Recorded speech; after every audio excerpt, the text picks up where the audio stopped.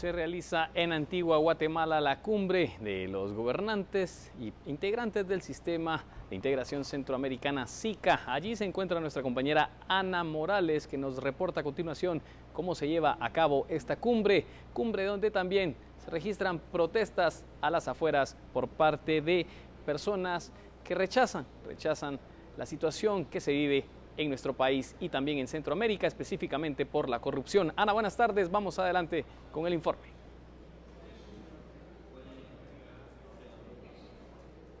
Buenas tardes, William. Efectivamente, las manifestaciones que se dieron allá al inicio, en donde se está realizando eh, la reunión del SICA, del Sistema de Integración Centroamericana, los ciudadanos se encontraban allá a la entrada, en donde ingresaban los jefes de Estado y las consignas eran siempre contra el gobierno, principalmente pedían la renuncia de Otto Pérez Molina, el presidente de Guatemala, y pedían garantías por las elecciones generales. De lo contrario, estaban pidiendo que no se realice en septiembre como se ha estipulado por el Tribunal Supremo Electoral. Mientras esto sucedía al ingreso de los jefes de Estado, ya aquí en la reunión del SICA, los que están presentes son el presidente de El Salvador, Salvador Sánchez Serén, de Honduras, Juan Orlando Blanco, el de Nicaragua, Daniel Ortega, el de República Dominicana, Danilo Medina, mientras también los países de Costa Rica y Panamá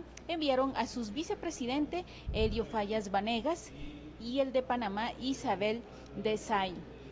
También los representantes de Colombia y de México eran unos eh, jefes de Estado que se esperaba aquí en el país, pero en esta ocasión ellos cancelaron su visita y tenemos a los representantes, en caso de Colombia, la canciller María Ángela Holguín, en el caso de eh, Belice es el embajador Alfredo Martín.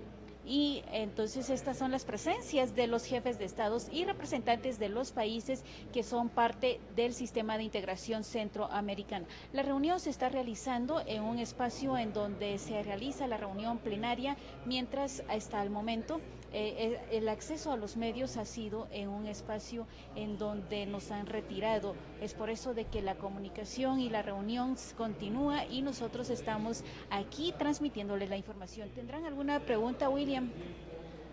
Gracias Ana, estamos con tu informe. Vamos a volver más adelante contigo para conocer qué es lo que ocurre en esta cumbre del Sistema de Integración Centroamericana. Estamos pendientes siempre también de lo que ocurre con las protestas que se realizan a las afueras de dónde se realiza este evento. Regresamos a la capital y vamos con nuestra compañera Lourdes Hércules, ya que el partido Movimiento Nueva República, que logró el antejuicio contra la ex vicepresidenta Roxana Valdetti, ahora pide a la Corte de Constitucionalidad que se aplacen las elecciones. Las razones las tiene Lourdes Hércules. Lourdes, adelante. Así es, muy buenas tardes. Y es que el candidato a la presidencia por el partido Movimiento Nueva República, Aníbal García, se presentó esta tarde a la Corte de Constitucionalidad para presentar un amparo que busca que el Congreso de la República apruebe de urgencia una reforma a la ley electoral y de partidos políticos. Esto considerando que el contexto actual político en el que se encuentra el país hacen necesarias que algunas reformas entren de urgencia, incluso antes de que se realicen las próximas elecciones. Veamos cuál es el argumento de este amparo. El amparo es para que se ordene al Congreso de la República legislar en la dirección que tiene que legislar o que debería legislar atendiendo el clamor popular.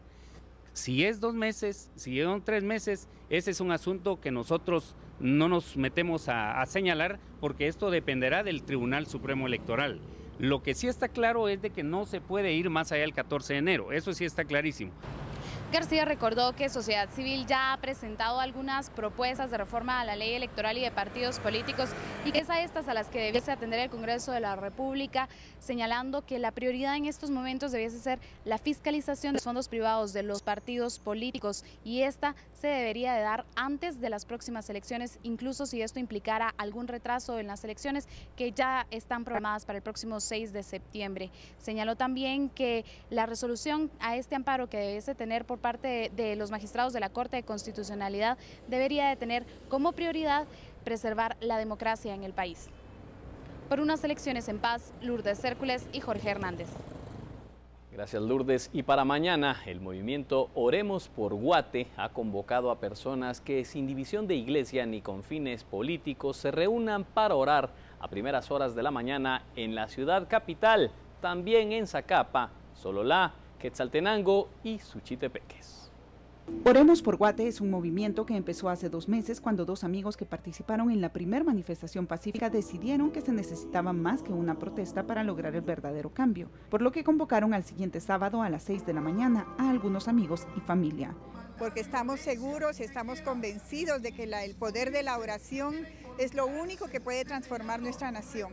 Es lo único que nosotros podemos hacer como canales para que la voluntad y el poder de Dios se manifiesten en nuestra nación. El movimiento ha ido creciendo. Se han unido personas en distintos lugares con la fe y determinación de que la oración puede traer un verdadero cambio, sin banderas políticas ni de una iglesia específica. La próxima convocatoria es para mañana sábado 27 de junio de 6 a 8 de la mañana en la Plaza de la Constitución.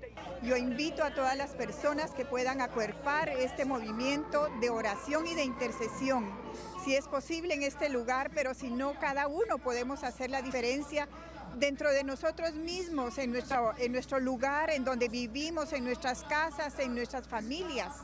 Pero es importante que nos levantemos y seamos como un solo hombre. También se han lanzado convocatorias en Sololá, Quetzaltenango, Zacapa y otras localidades.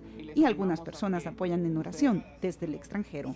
Por unas elecciones en paz, Ligia Herrera y Marvin Pérez.